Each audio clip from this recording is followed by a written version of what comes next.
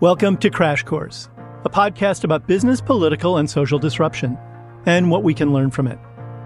I'm Tim O'Brien. Today's Crash Course The Race to Control the Arctic. Alaska has been an object of fascination, exploration, and exploitation for nearly two centuries. But its most inhospitable reaches, those that creep toward the Arctic Circle mile by frozen mile, have managed to hold onto their secrets for a very long time Ice, plunging temperatures, and brutal tundras have kept outsiders at bay. That's all shifting now.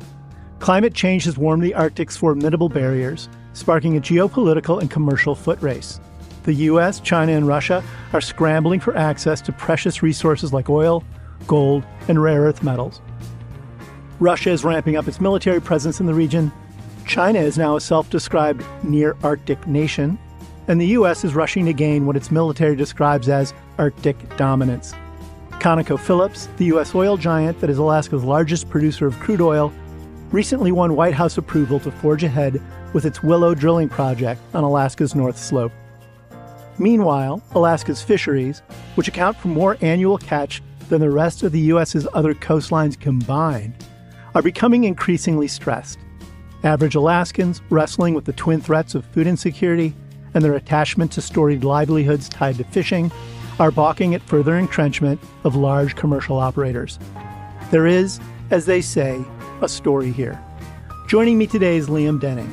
Liam is an energy and climate columnist for Bloomberg Opinion, and he's pulled off something very rare and very hard to do. He has repeatedly traveled to the Arctic to tell this tale. Liam is a wonderful writer and a keen observer of money, power, and people. Liam, Welcome to Crash Course. Great to be here. so, your work on all this has so far resulted in three stellar features adorned with beautiful photos from Louie Palu, an award winning photographer who has spent years covering the region. You've written one about the military ramp up in the Arctic, one about energy exploration, and another recently published about Alaska's fisheries. So we'll follow suit and build this episode around that troika. But first things first, how and when did you decide to go to the Arctic and nail down all of this? Well, Tim, as you know, this goes back quite a long way. Louie and I, who've known each other for, I guess, about 15 years now, first began discussing this seven or eight years ago, I believe. And I began discussing it with you and Bloomberg in general, I think in 2018. And we actually had it teed up just before COVID hit, which then inevitably shut everything down. And then about a year ago, thinking we could pull it off once again, we began to reach out to the US Army and other key players in, in Alaska. And to be honest, I'm pinching myself thinking that we actually managed to pull it off. It's been quite the logistical lift. Well, and you had to reach out to all of those stakeholders the military, the energy companies, local fishing communities in order to embed yourself, to sort of get their buy in to have you come up there and spend time. And then you had to figure out how to get there, how to fly there, how to arrange all the various legs of each flight that took you there, which was its own sort of logistical nightmare, wasn't it? That's right. I mean, I think one of the things you learn quite quickly is that Alaska is a US state, but it's not the kind of place you can just rock up to and look around. You know, it's vast. A lot of it isn't covered by a road network, particularly, for example, the North Slope where the oil operations are. You physically just can't get there. You have to, you know, negotiate access. And similar with a lot of the Alaska Native villages out in the west of the state, you need to get buy in before you really show up. And why was it important you to go through all that? Well, I think this goes back to the original reason, you know, Louie and I wanted to do this project was, you know, we felt that the Arctic is in some ways a kind of a grand blank canvas where we tend to project our narratives onto it, our ideas of what the Arctic is. And we felt that really to do it justice and to show our readers what it's really like there, you have to get on the ground. You have to go and see what it's like just to even get to the place, what it's like to feel the cold and the extreme temperatures there, what it's like, frankly, just to bulk up in five layers of clothing and try to do anything there. And so that element of reality was what we were going for. I'll just make a note to our listeners here. We'll have links to all of Liam's stories in the notes to the episode. There you'll find Louie Palu's gorgeous photography there, which will really give you a sense of the land and the environment that Liam covered and that they worked very hard to overcome in order to get these incredible stories. So let's talk about the military foot race that's in motion there. You embedded with one of the airborne divisions of the U.S. Army and watched them train. You talked with them about their strategy in the region. Talk a little bit about that. What is on the U.S. military's mind right now? And why are they ramping up their commitment to the Arctic? Well, I think one of the things you realize about Alaska's relationship with the rest of the US is that the lower 48 tends to remember that Alaska's there when it's feeling frightened about something. Uh, the, the classic example is the oil shock of the 1970s when suddenly we decided, you know, we had to develop Alaskan oil. And similarly with the Cold War. And what's happened with Alaska so far this century is it became kind of a military backwater during the war on terror, kind of a staging post, frankly, for divisions that were cycling in and out of Afghanistan. And a few things have changed that in recent times. One is China's assertion of what it euphemistically calls near Arctic status, which I, I just think is a gorgeous phrase. China's so big, it could probably be near almost anything. I mean, right, right. exactly. Near South China Sea, near, near Japan, exactly, near, near India, near, Africa. near Russia. Yeah.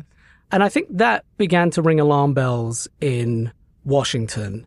And at the same time, the war on terror itself was winding down for various reasons. We also saw Russia reopening its military bases, a lot of which had closed down. These are the ones in the Arctic, as part of President Vladimir Putin's general kind of turn northward towards the Arctic, particularly for its energy resources.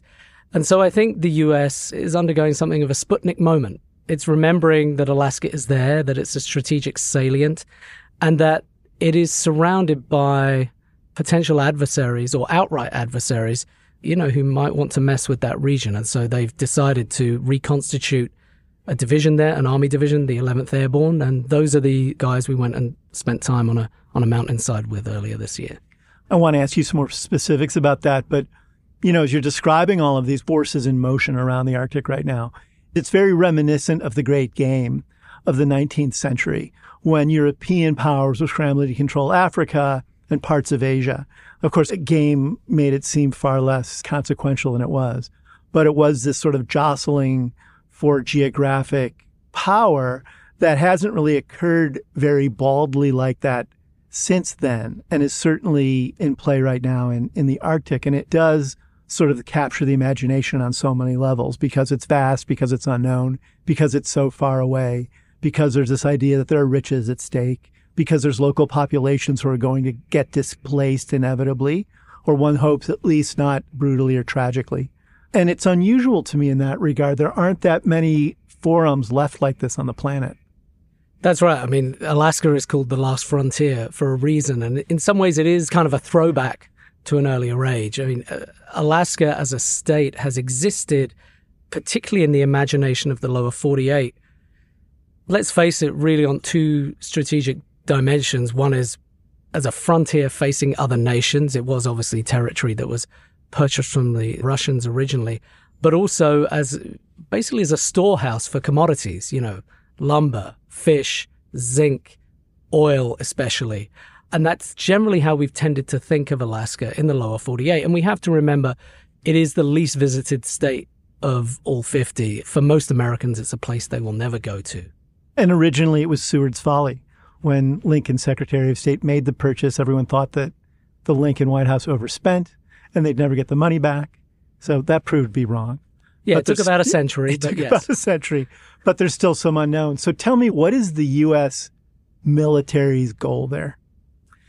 So this is interesting because when I was there, I tried to pin them down, you know, from privates right the way up to Major General Brian Eifler, who commands the 11th Airborne, on what the exact mission was. This is an unsatisfying answer, somewhat vague and broad, because you really don't know what the threat to Alaska might be. It seems incomprehensible that anyone would actually try to invade Alaska or take territory, it, it would probably end up being the biggest search and rescue operation in the history of the planet, just in terms of surviving. And that gets to really what their mission is at this moment. It's to train troops to survive. You know, when you get there and you see the, not just the grandeur of the place, but just the sheer desolate aspect of it, the emptiness, it becomes clear to you that having anyone operate there requires all sorts of training just to live, not just to manage the cold and wearing your clothes properly and all that kind of thing, but making sure you eat enough, making sure you drink enough, making sure you don't use fingernail polish on your fingernails because that's how you check for frostbite and you can't do that if you're wearing lacquer. There are all sorts of things. And Louie and I, to a very minimal extent compared to the soldiers who were training, had to do a little bit of that ourselves. You have to reimagine how you're living day to day and take care of the basics. And I think that is the Army's mission right now. It's to regain a muscle that was lost maybe 20 or 30 years ago around the time of the end of the Cold War so that as and when something happens, whether it's sabotage, whether it's a foreign fishing fleet showing up where they're not supposed to, whether it's a spy balloon showing up when it's not supposed to, that they have people on the ground both acting as a credible deterrent, but able to deal with those things as they arise. So is the strategy reactive or proactive? In other words, is the military responding to what they perceive as Chinese and Russian incursions? Or are they anticipating that Russia and China are going to continue to scramble for stakeholdings in the north around the Arctic and the U.S. better get busy and build its foundations out in Alaska? It leans much towards the latter, I think. I think the third element that's happening here, and you'll see this in the Army's public documents on the strategy, is climate change. The ground is literally shifting beneath their feet. The Arctic is warming faster than the rest of the planet. And, you know, when you're there, you can see it almost happening in real time. I've visited coastal villages where you can see chunks of the land just falling into the river or falling into the Bering Sea and sitting there almost like gravestones. You can see like big chunks of like glacial flows fracturing and falling off into the sea? Not glacial flows. I mean, what I saw was literally riverbank and coastal earth that had fallen into the water. You know, and that's because we're seeing a combination of sea level rising, but also the permafrost gradually melting and melting and melting. And since most of these places, particularly in the western and northern part of the state, are built on permafrost, I mean, when you go there, you see the houses all up on stilts. I saw an entire basketball court constructed on stilts in this village for the children to enjoy. So it's more like a landslide. Yes. Into the water. Yes. And actually, I think you bring up an important point. We often see commentary on the Arctic portrayed as a scramble for things, you know, a scramble for resources, a scramble for influence. No one scrambles in the Arctic. it takes a long time to do anything. I think the better analogy is subsidence or encroachment. Things are changing. The physical landscape is changing. The pressures on the people there are changing. The great powers around the region are changing their stance. And that's really what not only the army is trying to plan for it, or at least ready itself for, but frankly, everyone who lives there. How many troops does the U.S. have up there now? Has roughly 12,000. 12,000 seems to me like a relatively modest commitment, but it's nonetheless more significant than having 10 people sitting in a house somewhere.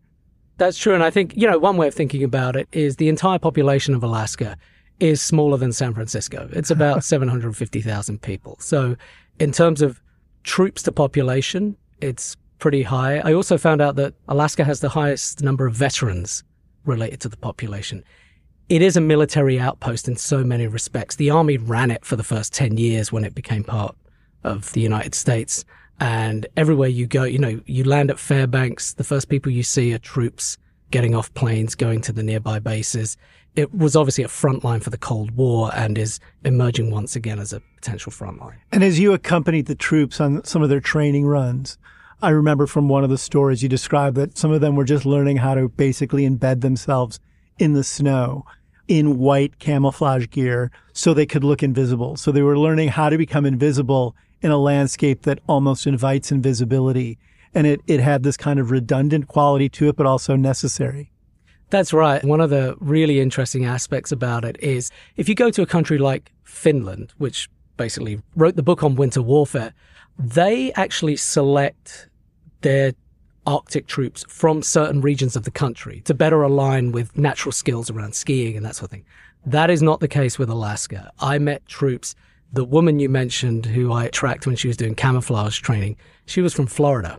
I met a sergeant from South Texas who says that when he first got stationed there, he would get frostbite all the time, wandering around outside, like picking up tools and that sort of thing. These are, in many ways, really raw recruits for that environment. Half of them had never even put on a, a set of skis before. So, what's the attraction to them to go there? It's interesting. For most of them, certainly the people I met on that training course, most of them had volunteered. They hadn't been told you have to go here. They had volunteered for this leadership course. And I think it's that classic attraction of going somewhere that's out of the way that otherwise you would never get to and putting your body through that kind of environment. Frankly, putting your mind through that kind of environment. And that was another thing that, you know, I really gathered by being there on the ground, even during my six days there, the isolation and the darkness kind of began to get to me by the end of it. If you're stationed there for months on end, that isolation, the darkness, and that unrelenting nature of the weather, you know, the wind just whipping through you every day, it really starts to prey on the mind. And it was certainly something that came up in a lot of conversations the need to manage that and to not sort of draw into a cocoon, which I think is what can happen with a lot of these troops. You know, when I was speaking to uh, Steve Decker, who is a, a retired US soldier who now operates as a civilian trainer at the Northern Warfare Training Center, he related a, a story from some years back, uh, you know, where he saw on the ground not just a soldier, but an entire platoon succumb mentally to the rigors of the place. Let's listen to that soundbite.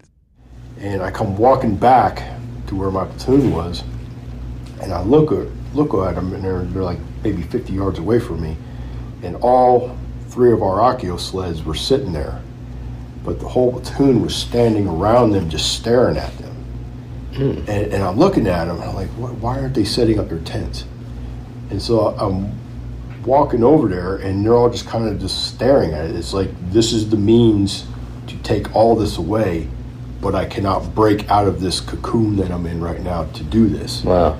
And I was just about to say something when one of my um, more um, forceful squad leaders blindsided me from the side, and he comes like, throwing people around, get this shit, right, like that, and then they, they started getting moving. But I've watched that a lot, that that withdrawal where people just they just withdraw within themselves mm-hmm. and they they will not make efforts to alleviate the pain that they're going through and I've done it myself. What kind of a military presence do the Chinese and Russians have? So Russia in so many ways is the Arctic whale. It has the most territory, the most people, the most economic activity, and the biggest military presence in the Arctic. And in a way, that's understandable. They they have the biggest physical presence in the Arctic. They truly are an Arctic nation. Absolutely. Whereas we are more a, a southern nation with an Arctic fringe. Arctic wannabes. The best way to put it. So their military presence is big both in scale and its elements. For example, you know, a lot of the strategic nuclear fleet is based up in the Kola Peninsula close to Finland. So Russia's presence is huge and is only going to get bigger in part because Putin has made it such a central plank of his vision for what Russia will be as a great power over the coming decades. You know, that need to open up a northern sea route as the ice melts, that need to export more oil and gas from the Arctic coast as the old West Siberian fields go into terminal decline. China well, China's a bit different. Uh, China isn't an Arctic nation. Its forays into the Arctic right now mainly consist of the odd naval patrol, the odd joint exercise with the Russians. They do have scientific outposts throughout the Arctic, and, you know, it's widely thought that those are essentially dual use. But China clearly has designs on the Arctic as a, an undergoverned space, to use that phrase, particularly as waters that are outside of economic zones become more navigable. China sees that as a place where it can stake out a position, maybe send its famous fishing fleets, and, you know, become more of an Arctic power. But as of yet, this isn't something that anyone sees turning hot. No, but certainly if you read the Army's strategic papers, I mean, the word China comes up more often than your average Trump rally. It's very much front of mind. In some ways, it's kind of strange. Although Russia is the very present power, in some ways, China is feared more. All right, on that note, let's take a break, Liam.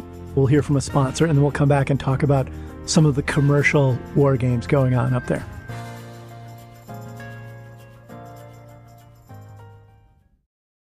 We're back with Liam Denning, a Bloomberg opinion columnist who's been charting the rush to control the Arctic, as told through his repeated visits to Alaska.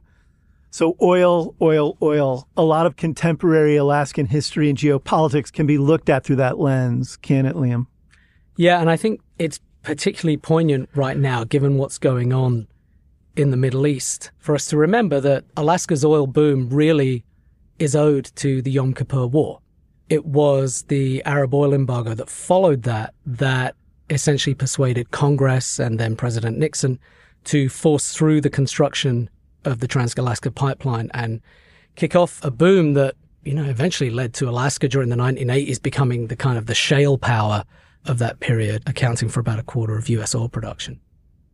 As you noted in one of your pieces, there's an ocean of oil and gas frozen in place beneath the Arctic. And I suppose the logic for the energy companies exploring up there is that climate change is going to make that less hard to get to? Or am I oversimplifying things? Yeah, there is that horrible kind of doom loop going on as the ice melts. You open up more resources to exploit, which then help more of the ice melt. That's definitely going on. But I think it's important to remember that the oil resources up there, and don't get me wrong, all the estimates indicate there is a lot of oil and gas in the Arctic it's frozen in place not just by ice, but by sheer remoteness. Going back to that idea I had earlier on about the lower 48, remembering Alaska when it's feeling anxious about the world. That is what led to the oil boom in Alaska. This is not a place that you would ordinarily really want to go to get oil. It's really hard. It's really expensive only the biggest players can go there. If you get it wrong, it can be catastrophic. Shell famously wrote off seven or eight billion dollars last decade trying to get oil out of the Chukchi Sea and got nothing. So it's not just a question of as the ice melts, we will develop more of it. It's also does it make economic sense? Does it make sense on some other axes? For example, energy security. You have this interesting little statistic in your piece that I think onshore projects in Alaska can take about 15 years to sort of come to fruition. Offshore, when you're out in the water, can take 30 years. And projects elsewhere in less threatening climates can be anywhere from several months to five years, depending on, on the scope of the project. Is that right, more or less? Yeah, that's an estimate for the National Petroleum Council that is one of the things that I think prevents what some people would call a, a, scramble for oil in the Arctic. You know, if you're looking at a project that's going to take 15 years or, or 30 years to come to fruition, particularly at this moment in time when, you know, some people are estimating oil demand could peak this decade or next decade, it's very hard to get a financier to sign off on that. You spent a lot of time at Kuparuk, a ConocoPhillips project site. Given all of these challenges, why is ConocoPhillips there? Well, this will sound perhaps a little banal. It's there because it's already there. With a lot of these big oil provinces that were developed in response to the oil shocks of the 1970s, they were developed under a very specific set of pressures and circumstances oil prices were super high, so you could justify pretty much anything. And you had governments prodding you in the back to get this done in order to bring about energy security. Now, the fact is, Conoco is already the largest player there. And if you think about the Willow project, as you mentioned, which is the new one that's being developed, you know, if you think about that, Conoco is going to spend something like seven or eight billion dollars on that project. It's a reasonably sized oil project, but certainly it's not a giant project. But the reason they can do it is because it's only a few miles from where they already have investments made in pipelines, gravel mines, that sort of thing. If so you, it's incremental. Right. If you were a new player, it would be almost unfathomable to think that you might just go in there and develop that from scratch. You also noted in your piece that the energy companies face the same environmental and climatic challenges that the military faces. Equipment breaks down. It's hard to get people to live there, et cetera, et cetera. Another thing that's in play, obviously, too, is that there's been this sense that the fossil fuel industry has plateaued or has been peaking as there's a push toward green.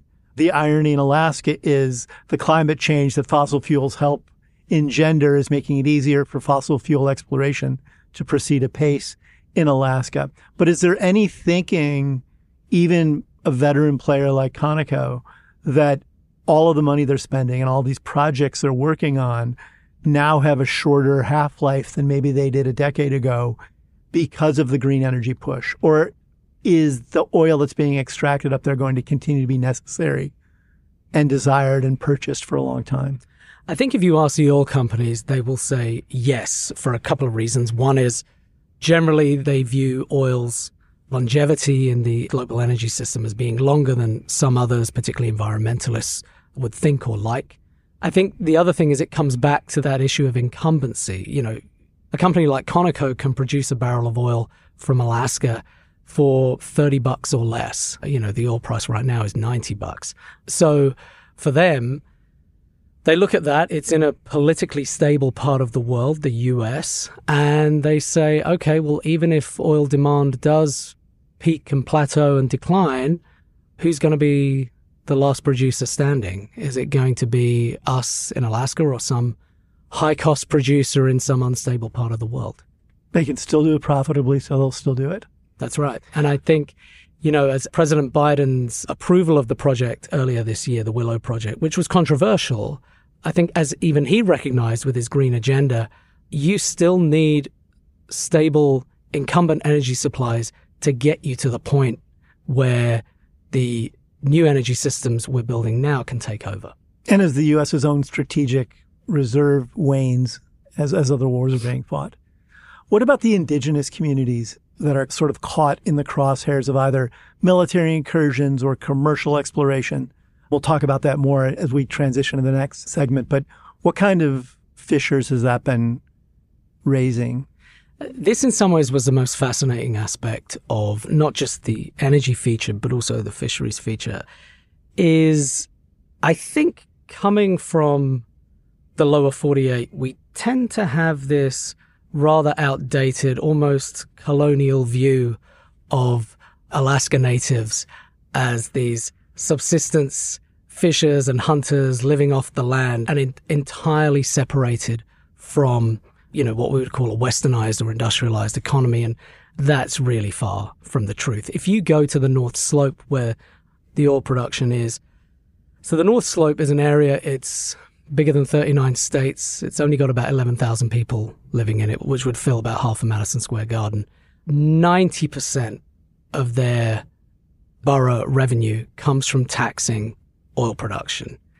Their whole lifestyle, everything from the fuel to running the snow machines they use to hunt or to fuel the boats they use to go fishing, the revenue to build housing, to run healthcare programs, it all comes from oil. And that's what makes the energy transition in a place like that particularly acute as an issue.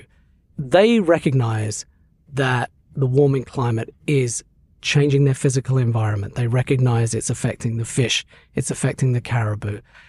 But they also recognize that without that revenue, their way of life is pretty much over. They would probably have to evacuate a lot of those people if you switched off the oil revenue tomorrow. So it's just a very difficult tension that they have to deal with. We're going to dig into that deeper after the break. I want to just stop for a moment now to hear from one of our sponsors, and we'll come right back.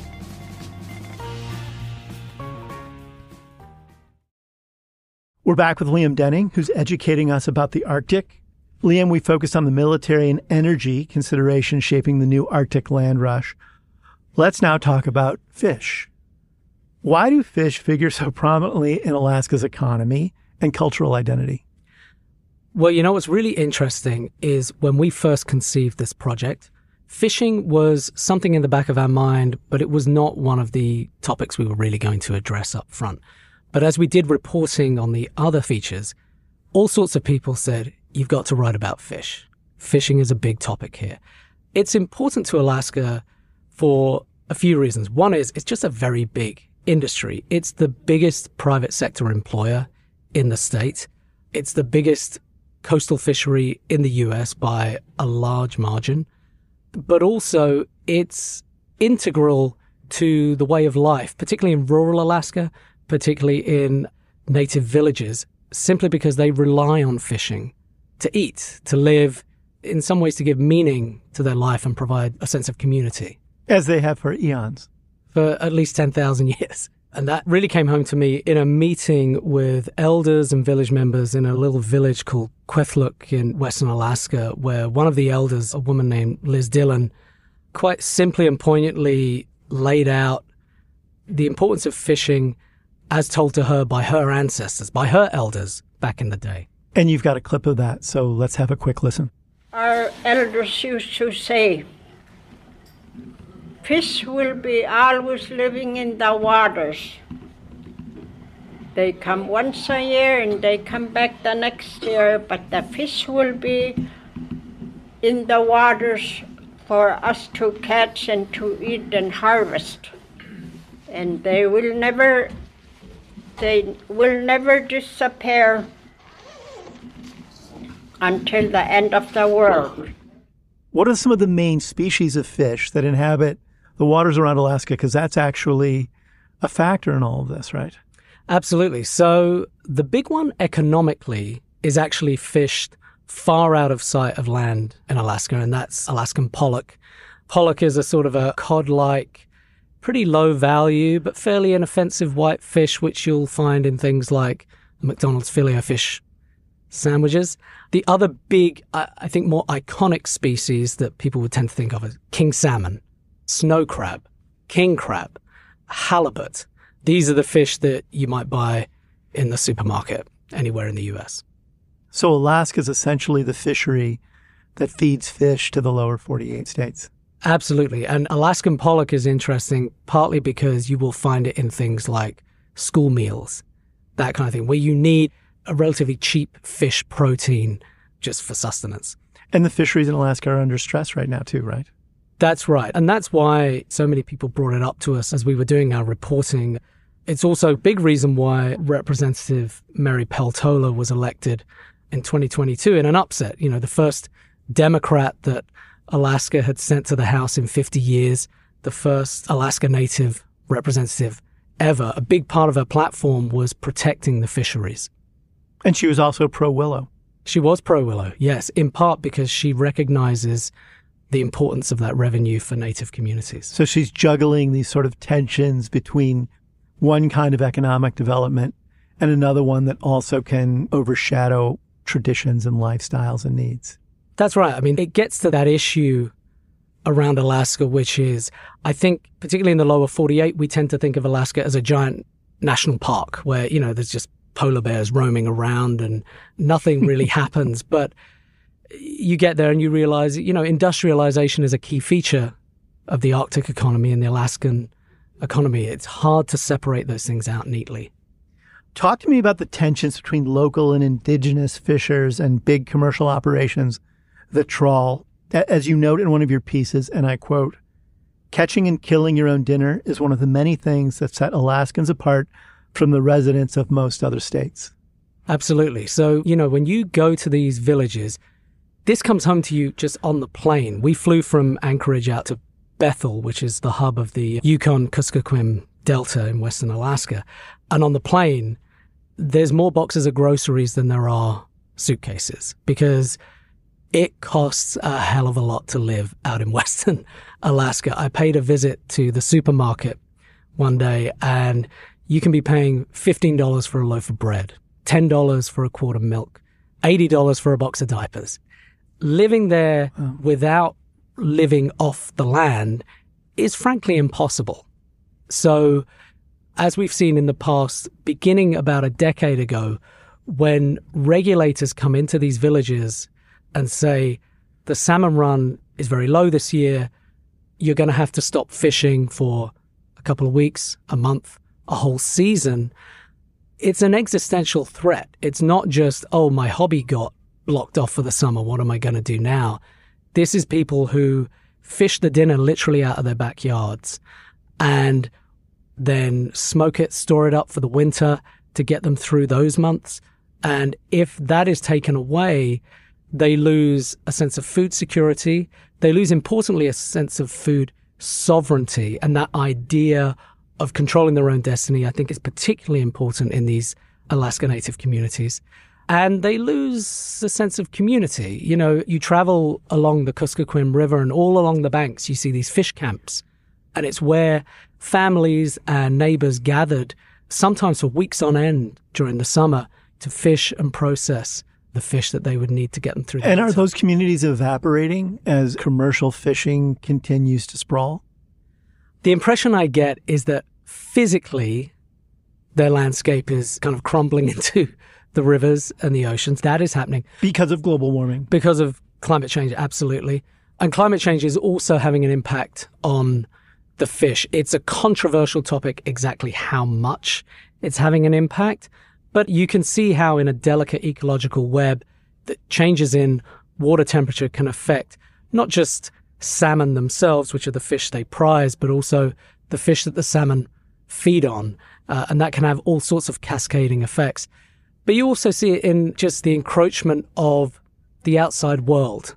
One woman I spoke with at a village meeting, she was very upset about the impact on fishing, but you also got a sense that she was worried about the young people in their village losing their connection to the land and playing video games instead and, and not learning how to subsist. And I think in some ways that's the thing that's really gutting these communities. It's that sense that they're breaking decisively from their past. And how do the large commercial fisheries see all of this?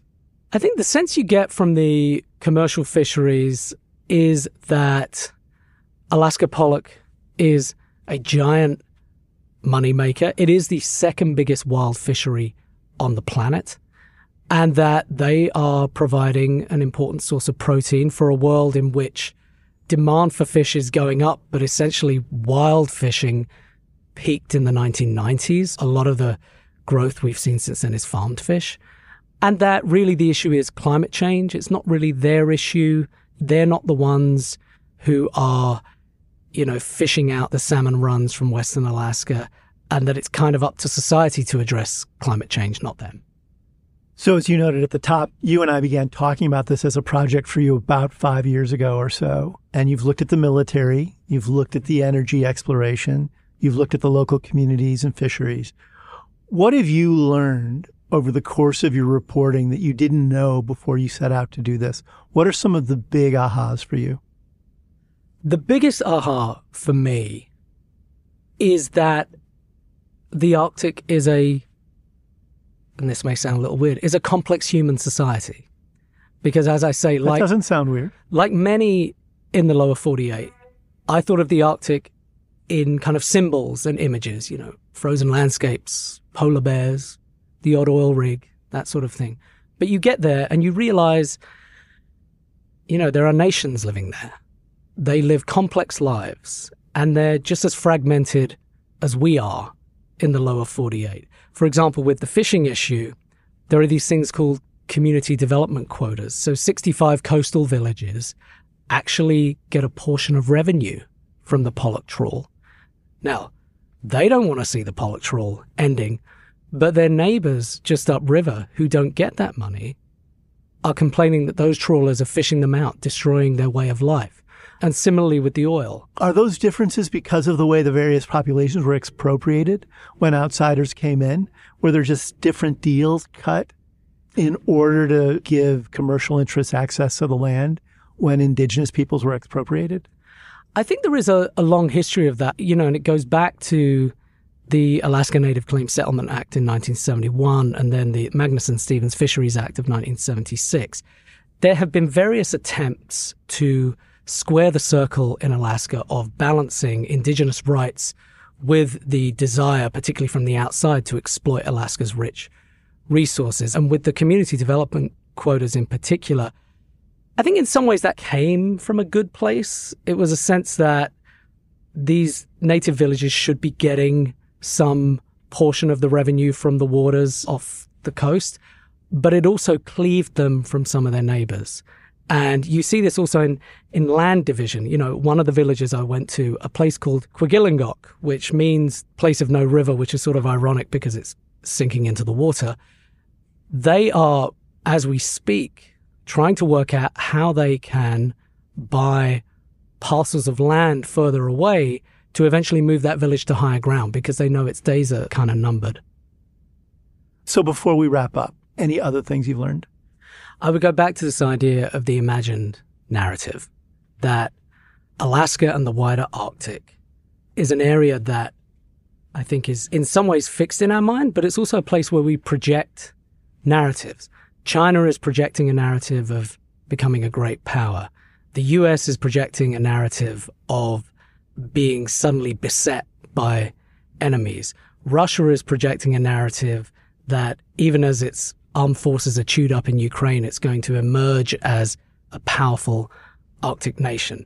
All these things are clashing, and the people who live there are, frankly, caught in the middle. Liam, thank you for wrapping things up for us. We're out of time. Thanks for joining us today. Thank you. Liam Denning is a columnist with Bloomberg Opinion. You can find his work at the Bloomberg Opinion website and on the Bloomberg terminal. You can find Liam himself on Twitter at Liam Denning. Here at Crash Course, we believe that collisions can be messy, impressive, challenging, surprising, and always instructive. In today's Crash Course, I learned that the title that I gave to this episode, The Race to Control the Arctic, actually might not be the right title, given everything that Liam just told me what's going on for both commercial operators, the military, and everyone else up in Alaska is a long, cold, challenging slog. What did you learn? We'd love to hear from you. You can tweet at the Bloomberg Opinion handle, at opinion, or me, at Tim O'Brien, using the hashtag Bloomberg Crash Course. You can also subscribe to our show wherever you're listening right now and leave us a review. It helps more people find the show. This episode was produced by the indispensable Anna Mazarakis, Moses Andam, and me. Our supervising producer is Magnus Henriksson, and we had editing help from Sage Bauman, Jeff Grocott, Mike Nizza, and Christine Vanden. Blake Maple says our sound engineering, and our original theme song was composed by Luis Guerra. I'm Tim O'Brien. We'll be back next week with another crash course.